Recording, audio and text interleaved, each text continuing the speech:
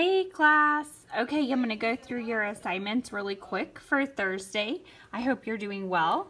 We've clicked on Thursday since it's the day of the week. We're going to start off with our listen and learn with OE.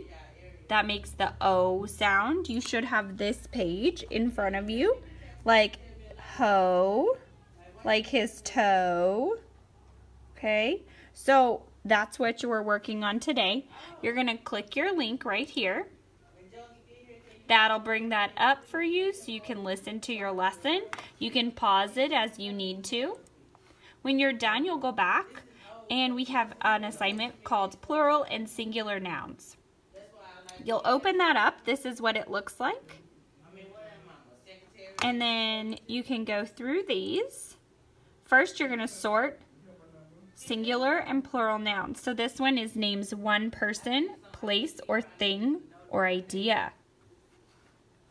That would be one, so I'm going to move that up to singular. Next one, example, cats, cities, pineapples. Well, that's more than one, so I'm going to put that one over here under plural. Next one, you're identifying it. This one you're going to type in. So where are the shoes? What's my noun in that sentence? It is shoes. So I'm going to highlight here. And I'm going to put shoes. Oops. Shoes. There we go. Is it singular or plural?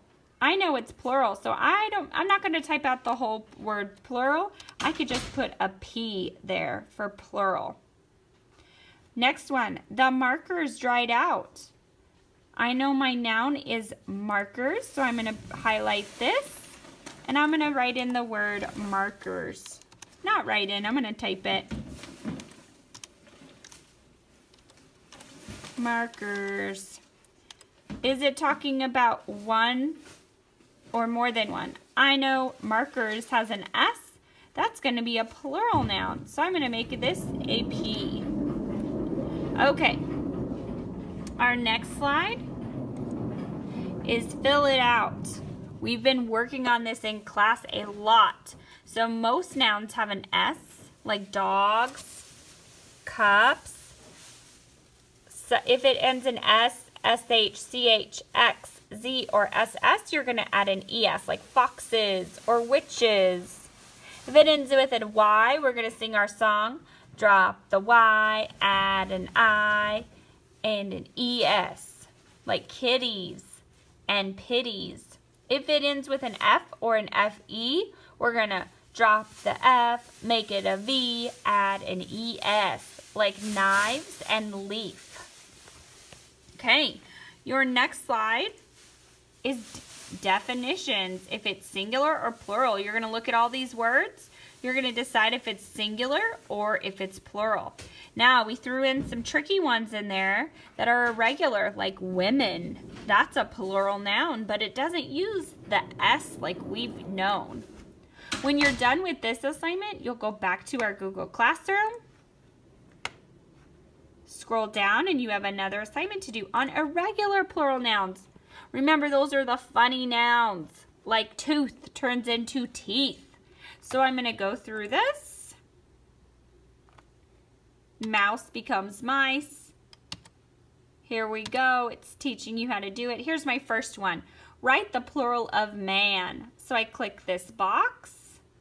And I know what that is men. So I'm going to type in men.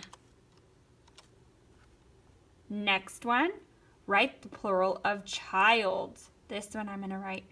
It's not childs, it's children. All right. You go through all of these assignments on there. You'll go back to your Google Classroom and you have a quick little Google form to fill out called SH, ST, or CH. So you'll say who is your teacher. Then you can add all of these. So this is a chicken. Does that start with an SH, an ST, or a CH? When you're done with all of this, you can click, um, you can choose one thing to do from our student choice blue poster. Have a great Thursday. Stay strong, use manners, Can't wait to reward you. Bye.